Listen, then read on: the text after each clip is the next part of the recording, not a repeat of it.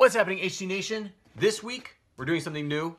We're going to show you the Industrial Revolution, uh, but there's more about than just saying we're introducing a new expansion deck. This is the Industrial Revolution expansion, but at the same time, this is all, they were all printed as 2.0 cards. As I told you, we are going forward, even though we didn't do everything with uh, the Kickstarter, we are going forward and again, the reason why we ended the Kickstarter early was because we decided there was a difference in our packaging and the way we're going moving forward. But until we get to that point, we are actually going to continue with um, producing 2.0 cards. And I've got something else that's really cool that's coming out. Just not going to tell you right yet. Stay tuned about that.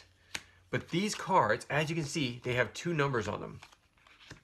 They have or sorry, not two numbers, two symbols. One is either a C or an I or a an H. So an H, if you see a card that says an H, it means you're allowed to hold the abilities. So you can hold on to it for a later time. You don't have to use it right away. If you find one that says I, that has an I, it means you have to use it right away. As soon as you receive it, you have to uh, use the abilities or lose the abilities. And then the C is basically any ability that constantly is being used. It's a constant. So C is for constant, I is for immediate, and H is for hold. If it's a constant, it means the abilities are used over a long period of time, which usually is because of strength. If you increase your strength, it's usually for a longer period of time. If you increase your morale, uh, such as the pneumatic tire gains 500 morale points. Um, that's a choose. Or double the effects of either Henry Ford or the internal combustible engine. Because it's immediate, you gain 500 morale points, or you have to do the other one right away. No questions asked. As soon as you play it down, you have to use the abilities, or you'll lose it. Now, the second number is either a 1, a 2, or an infinite. Here we go.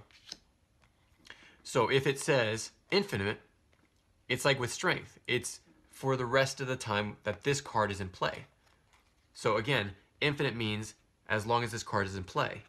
Then you increase your strength by that amount, amount of points. But say it's only a one or two, it's because you can hold it, but you can still only use it one time.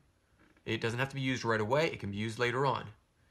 Or with this one, it's an immediate, but you get two turns. So it says the movable assembly line increases your produ productivity. You may play four cards per turn for the next two rounds. That's where the two comes from, the two rounds. So that's why 2.0 is essential when it comes to playing the game. Uh, sorry, I shouldn't say essential. It's so important, it's so um, useful having these symbols here because you're able to know exactly when you're able to play them.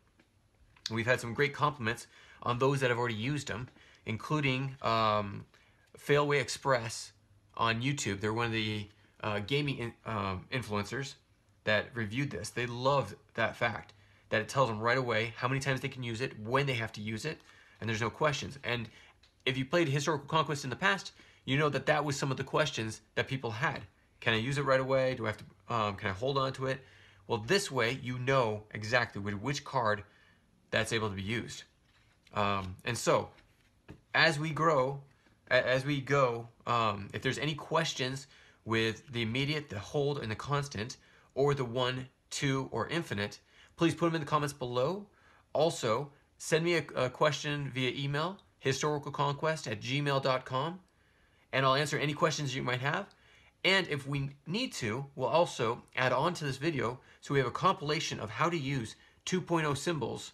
The, the first one being the immediate holder constant, the second one being how many times you can use it, one, two, or infinite. This is the way we're able to go forward. Um, there are some other things that are being changed with 2.0 that we're going to show you in the near future as this comes out. And as I said, this is coming out and it will be coming out fast. So hopefully uh, you enjoy this. Um, and uh, we'll talk to you more about it in the coming weeks. Thank you so much. We'll catch you next If you have any comments or questions, add them to the comments below. Otherwise, we'll see you next. Uh, we'll see you tomorrow. Actually, take care. Bye.